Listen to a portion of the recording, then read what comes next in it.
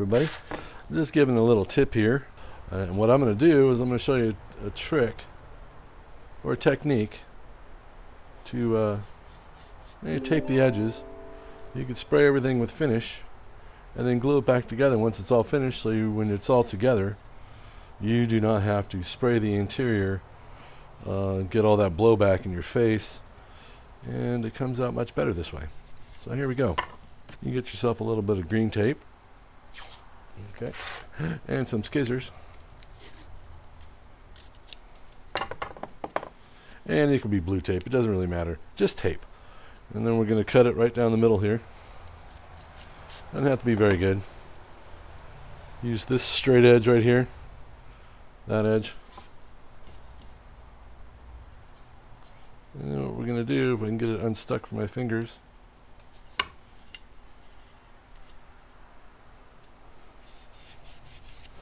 attach it to the end. Okay. Bend over the tape a little bit like this here. Oops. And then you're going to take some, what is this?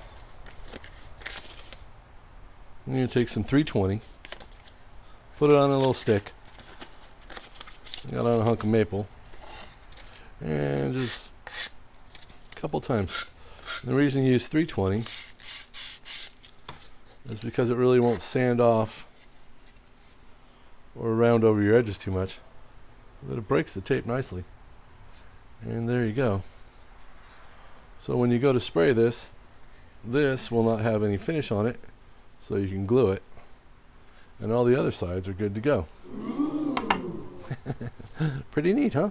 So if you ever want to finish the inside of a box, which is a real pain in the neck because you get a lot of blowback because of the bottoms in there and everything else, uh, go ahead and assemble the whole thing. Tape everything together on the edges. Uh, put some green tape or blue tape on the edge. And then uh, just sand it lightly with you got to have a block of wood so it's nice and sharp and then you're going to sand it with 320 little sand job bump bump bump and it comes out pretty good. It's a little Kevinism, Tippinism for you. All right. We'll see you soon. Bye.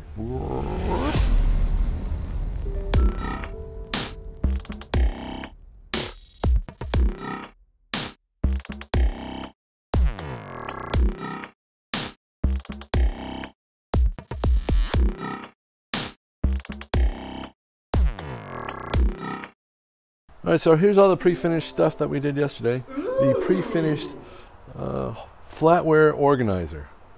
So yesterday I taped off all the ends and we sprayed finish on both sides, top and bottom. We had a little piece of pre-finished uh, maple quarter inch plywood. And so what I'm going to do right now is I'm going to glue this thing up. So the first thing we're going to do is we're going to take our packing tape and we're going to, since it's so wide, I'm just going to slice it in half here. Or do my best to slice it in half. Just put it down here off to the side a little bit because we need uh, two for each one.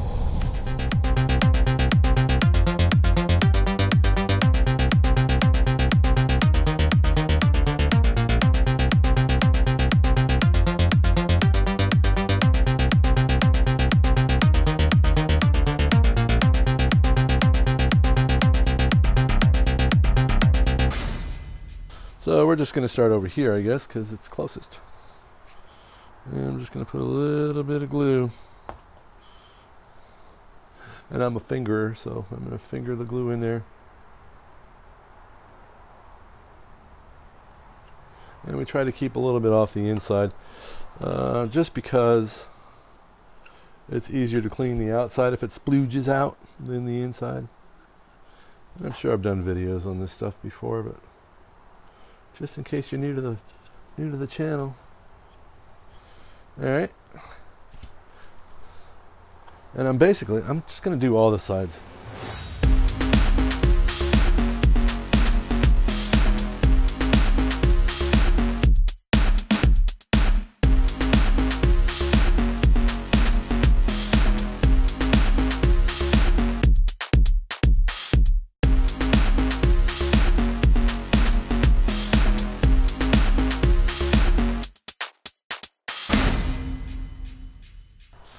So I set my bottom in there. This is the back now, so I have to flip these over. You don't want to build it backwards. Okay, this will get slid into here. Okay, and down. This side will slide in here. And we have to maneuver things around a little bit anyway. And then we'll put this up here. Which I can't really see what I'm doing, but whatever. Okay. So now what we're going to do is going to start on one end. and you can use this to wipe off your hands too. So now that we have everything's glued up, you don't have to rush this process at all. You got a little bit of time. What you do want to do is get as much of the glue off the joint as possible. You get you might get a little splooge in there. So what we're going to do is going to set one end down. And we're going to hold the top and bottom and we're going to pull. And the strapping tape is very stretchy. So you'll actually pull that joint together pretty tight. Now we're going to do the bottom. Uh, one side first, rub it down. Okay, and you can hold your thumb on it and then pull down like this. And then just, boom, there you go. Try to clean up as much glue from the outside as you can.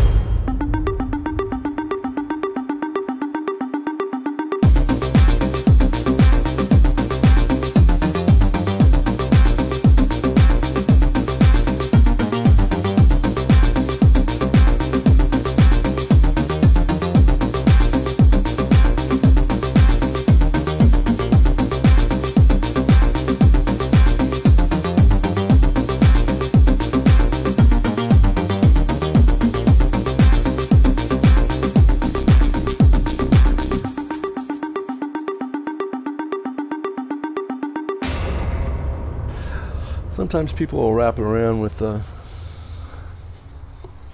rubber bands or band clamps. Here's a band clamp, band clamp. These work great too, but not for little skinny things. Uh, for super skinny little things like this, I definitely wouldn't use a big band clamp because it'll bow it. It's very strong. What I'm to do now is take my trusty scraper and just go in here lightly because remember that's finished. All right. There it is. Now we're going to just let it set. I'm going to try putting all these other pieces in. I'm not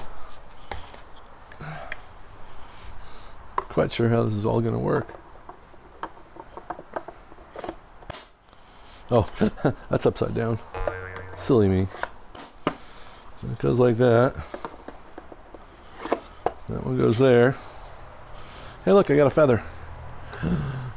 It's a feather box. No. And then these. See, and they're all finished on all four sides.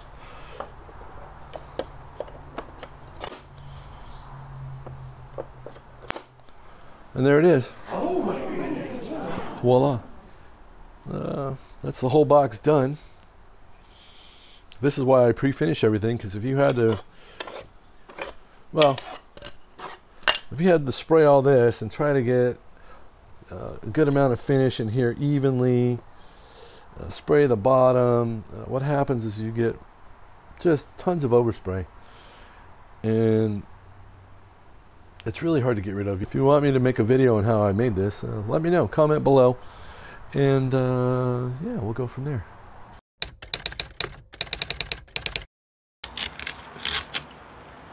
And show you the corner.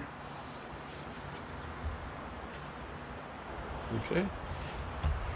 And we'll just keep taking the tape off. Usually this packing tape doesn't stick to finish. This has actually been on here for like four days. And if you get a little glue splooge or dryness on there, Usually you just take it off with your thumb and it comes off pretty good. Like I said, this tape has been on here for days and it really doesn't uh, stick to the finish too much. You gotta make sure that you let your finish dry for at least 24 hours before you tape it on there. You don't want to be finishing it and two hours later taping it up. You actually want to let it sit for a while. And that's what we get. So there you go.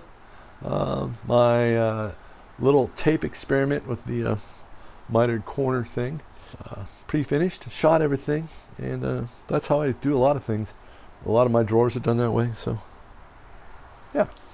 All right, peoples. Well, thanks for watching. Thanks for subscribing. It's a beautiful, beautiful day here in Humboldt County, California.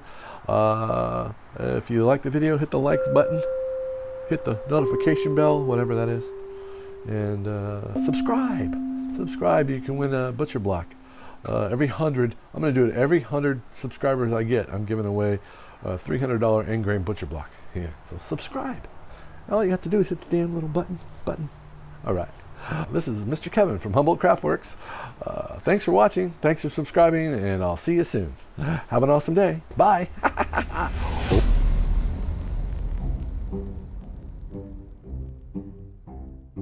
it's like magic. All right. Here you, uh. Ah, rub it out. It's, it's not good. And what I mean by rub it out silly.